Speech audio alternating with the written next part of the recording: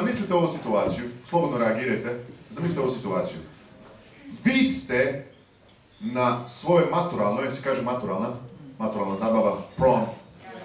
Ok, skužili ste?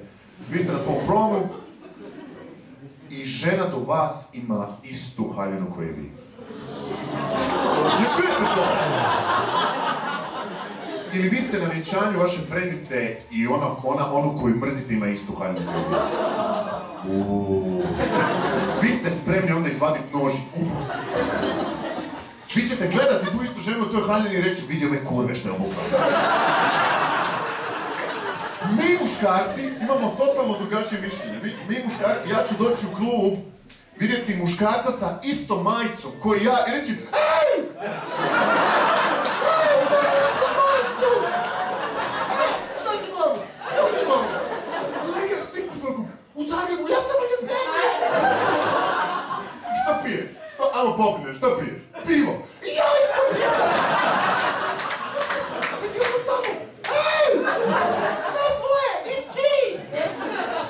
I mi smo onda prijatelji.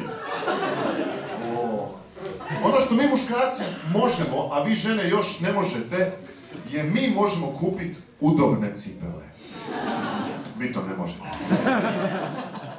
Vi, ćete, vi još uvijek nosite štikle koje ne volite. Mislim, bole vas noge od toga. Mi muškarci nemamo to, u, bole me noge od ovog. Vi ćete, vi kupiti štiklu, jedini kriterij je, mora biti lijepa. Ne treba biti vaš broj. Štikla mora biti lijepa. Vi ćete doći u dućan i reći, ajme vidi kakva štikla. Mm. Imate broj 38, ne ima 42. Mm. Mm. Vi kad ste napravili mm, a ako ste 5 sekundi predugo gledali u tu štiklu, ona već pakira, ona zna da je prodala. I onda ćete nositi tu štiklu, to bi nešto nevjerojatno. U početku kad izađete, onda ste full seksi, onda kao vidi ona štikla, kako dobro izgleda, noge, sve. I nakon 3-4 sata ste već... Mm,